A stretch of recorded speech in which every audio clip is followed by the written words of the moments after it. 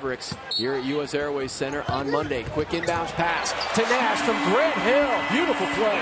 You know, again, uh, underneath out of bounds plays can devastate you.